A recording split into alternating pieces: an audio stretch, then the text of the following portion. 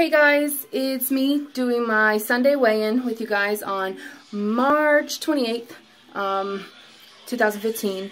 Last time I checked in with you guys, I was weighing in at 307 and I did peek before I did this video, of course.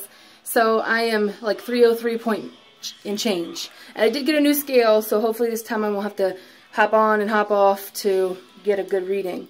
But um, I'm finally settled into my new apartment, so I will be keeping my promise to you guys and making more videos more often.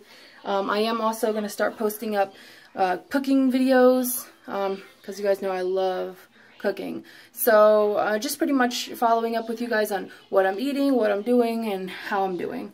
Um, and I love to see you guys' video too, so don't forget to subscribe, like my videos, comment on them because I do comment back, so if you have any questions, please ask them and I do answer them.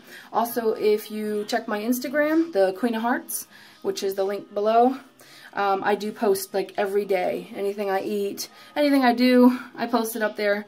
Um, and I love following your guys' journey too. So um, don't forget to click like, click subscribe, and add me on Instagram, okay? So I'm going to do my weigh-in now, and here we go.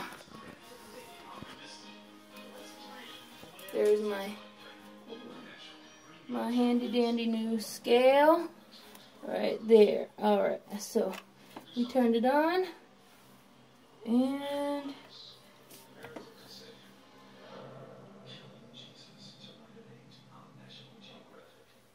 three oh three 303.4.